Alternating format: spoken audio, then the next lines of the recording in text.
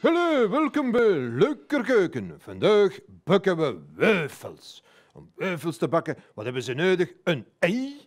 En ze moeten het ei scheiden, het geel van het eiwit.